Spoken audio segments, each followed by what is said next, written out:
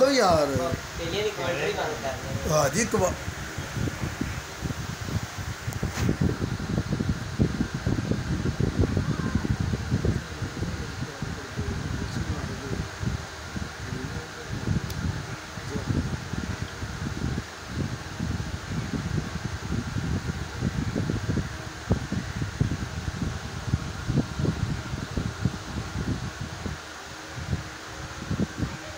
ਹੁਣ ਲੋਕ ਲੋਕ ਮਨ ਤਿਆਰੀ ਲੱਗੀ।